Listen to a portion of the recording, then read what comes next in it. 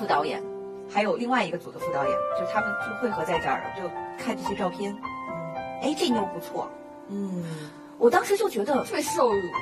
我在想，如果你拿的是我的照片，我现在过去会给你一巴掌。你是来做什么的？你是副导，这种不公平好可怕呀！嗯。所以我一直都在想，自己要是可以在这个圈子里继续混下去，我希望有一天我可以站出来说话，就是提醒一下这些不道德的人，你们在毁这个圈子，毁这个社会。姐，我的眼睛多尖呐！我眼这么一扫，呵，只见纸条上用硕大的字写的“选某某某”。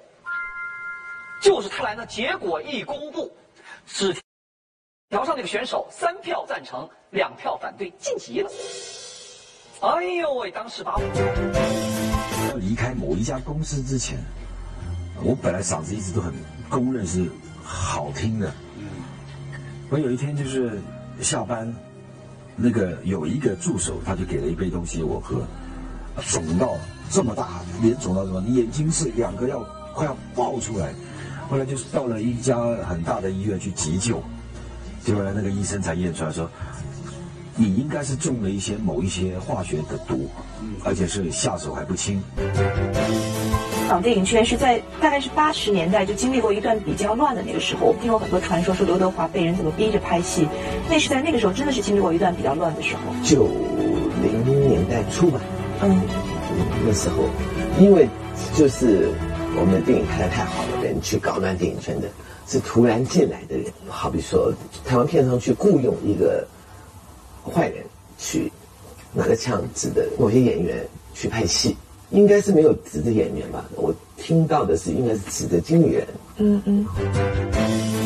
最骄傲的一件事情就是我十八岁拍电影的时候去台湾做宣传，然后有一个秘书就来敲我房门，就拿了一纸袋的钱给我，然后他说这是我们老板要给你的钱。哦。我也不知道为什么是现金，然后我说你把它还回去吧，我为金钱而屈服。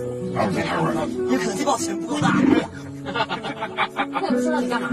那你没还没收嘛？那第一次嘛，你第一次你收完就肯定要干嘛？那那那让别人，我就想送给你个大人，这是给你的。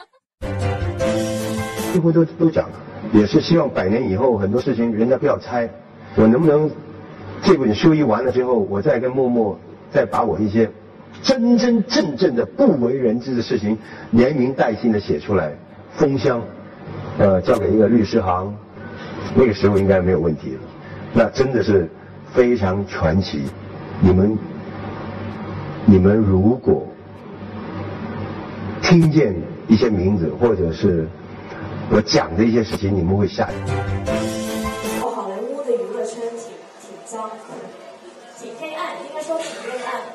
然后有很多人看到我，可能就是觉得哦，演员漂亮，呃。